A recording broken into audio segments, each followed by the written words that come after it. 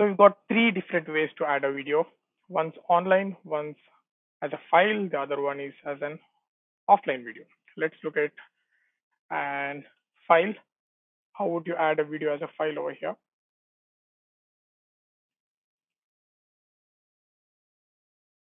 Let's say I click right click and copy this file and go back to my Word and I right click and say paste.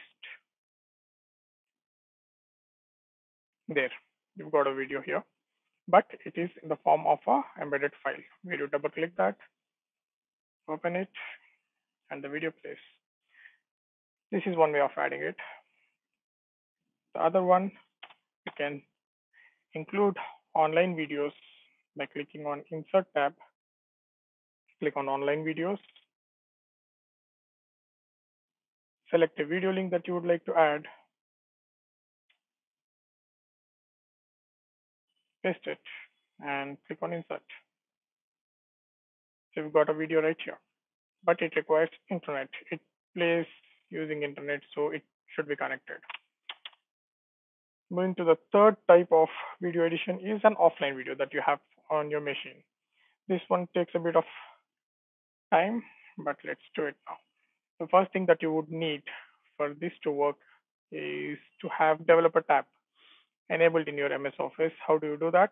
You go to File, go to Options, select Customize ribbon,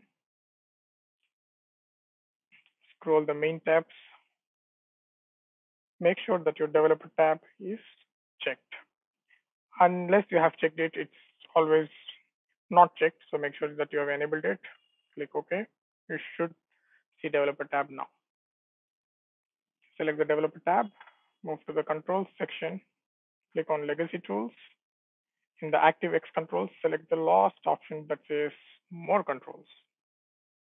Once you have it, scroll down the controls all the way down and you should find Windows Media Player.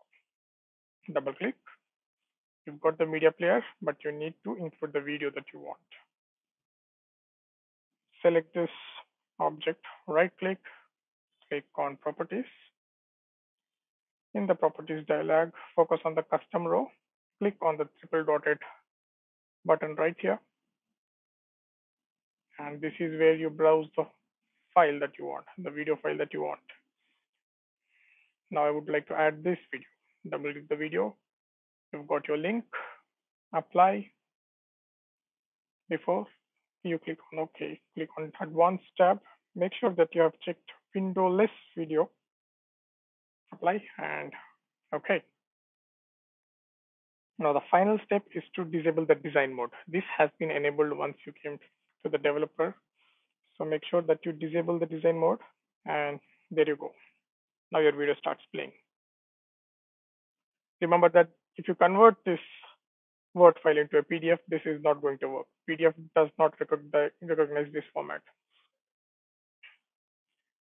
so that's it. Take care and subscribe to the channel if you want more videos like this.